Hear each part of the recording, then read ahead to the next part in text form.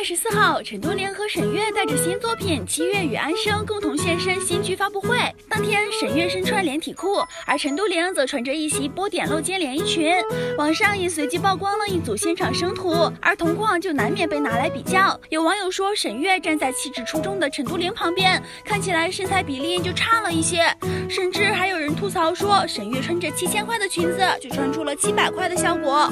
我是沈月，在《七月与安生》中饰演李安生。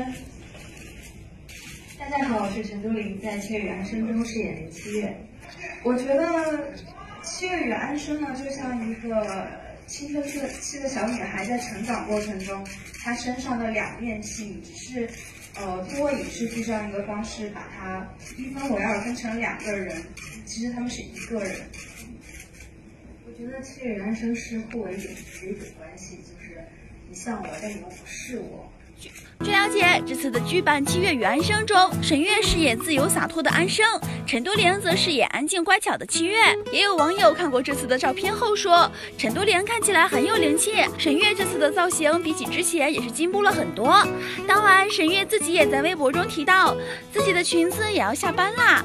猫哥拉新闻，与其过多比较两个人的穿搭造型，不如一起期待他们的精彩演出吧。报道。